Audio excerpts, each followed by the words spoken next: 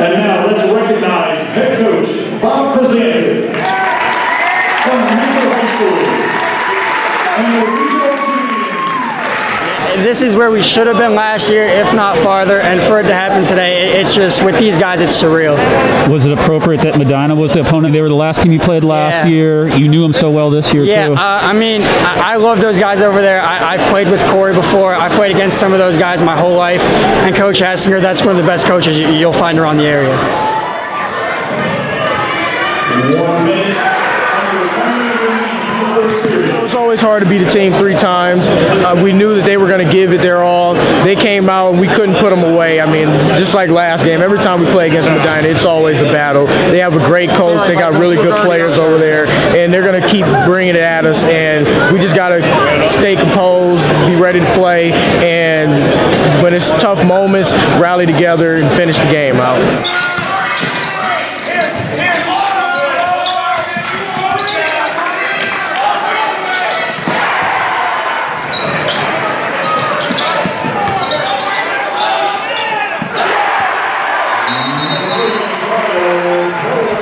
Mean, everybody did, I thought, a great job defensively. All the little things, but defensively, um, they were one and nine from threes the first half. I thought we, hit, you know, make them earn every single bucket. Tripp was going to get his 20, 25. He's that good. We just didn't want the other starters, the other players, um, to get hot and hit threes. That was our philosophy. I like doing the little things because scoring is not everything. I love defense. Defense wins games, rebounding wins games, uh, playing help side defense wins games, and we aren't a big team. So it's usually me and Kip down there fighting, and I will go to war with them any day. So if we, if I can't get maybe like eight rebounds, we don't have a chance to win. Coach told me so. I'm always in practice, crashing the boards, just trying to get every rebound. It's like a game for me. Every rebound I can get, it feels amazing.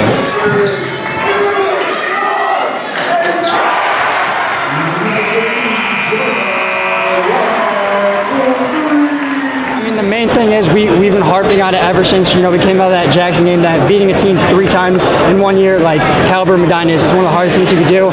So, you know, we had two of our best practices all year and we came ready to play. I'd be remiss if I didn't ask about Luke. He played as well as he's played this year, initiating the things from the point. Right. What's it been like playing with him all season? You know, it's great having a point guard that can control the pace of the game. He uh, is great at facilitating, and we, we know that even when things get bad, he can pull it together. Uh, he's going to knock down free throws, do all the little stuff, and everything else. So it, it was it's great having him on the team.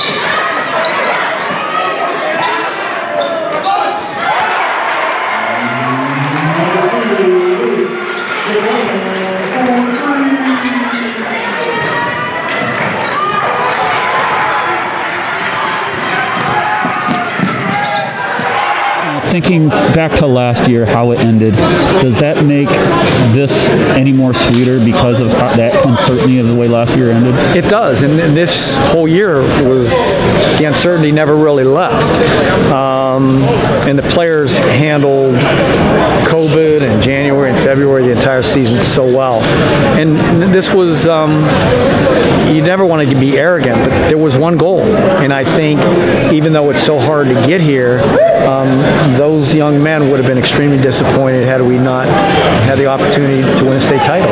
These guys, you know, we wanted more than anybody in the state right now. You know, we're going to celebrate this one tonight, and then we got five days till we head down there where we're going to do everything in our power so that we can be holding up that trophy.